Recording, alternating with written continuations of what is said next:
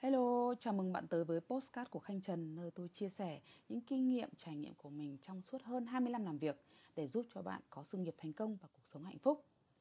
Và ngày hôm nay chúng ta sẽ nói về chủ đề tạo ra các thói quen tư duy tích cực.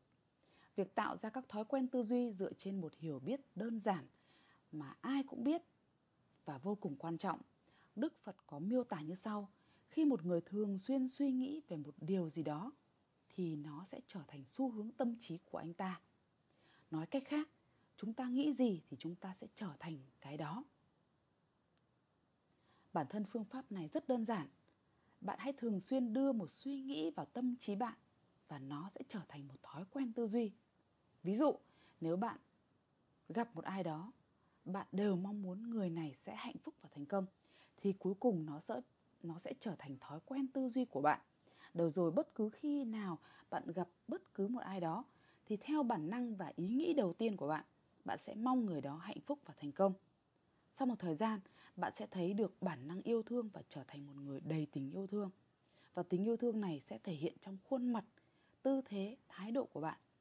Và bất cứ khi nào bạn gặp một ai đó, một cách tự nhiên bạn đã tỏa ra một tình yêu thương trong tất cả hoàn cảnh mọi người sẽ được cuốn hút vào tính cách của bạn, chứ không chỉ là về hấp dẫn của bạn. Và đây là một cách luyện tập không chính thống. Chỉ cần đơn giản là tạo ra những ý nghĩ này trong bất cứ lúc nào mà bạn gặp bất cứ ai. Và dần dần, bạn sẽ trở thành một người rất tích cực. Từ bi, không phán xét, gặp ai cũng yêu thương. Và đây là cái cách mà tôi đã luyện tập trong hai năm qua. Và nhiều người sau khi gặp tôi một thời gian thì thấy là mình đã trở thiện trở nên là hiền lành hơn, trông nhân ái hơn, từ bi hơn và trông trí tuệ hơn. Cách đây năm, bảy, mười năm.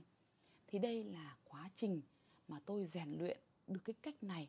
Và nếu bạn luyện tập được, bạn cảm nhận được sau một thời gian, hoàn toàn hãy nhắn lại cho tôi nhé và hoàn toàn bạn có thể chia sẻ cái postcard này cho bạn bè của mình chỉ trong 2-3 phút ngắn thôi nhưng tôi tin chắc sẽ có một cái thông điệp thú vị thay đổi cái góc nhìn của bạn, thay đổi suy nghĩ của bạn, thay đổi cuộc sống của bạn. Và tin tôi đi, luyện tập đi ạ. Nếu thành công thì hãy liên lạc lại cho tôi nhé. Tôi xin chúc bạn hạnh phúc và thành công. Hẹn gặp lại các bạn ở audio lần sau. Xin chào và hẹn gặp lại.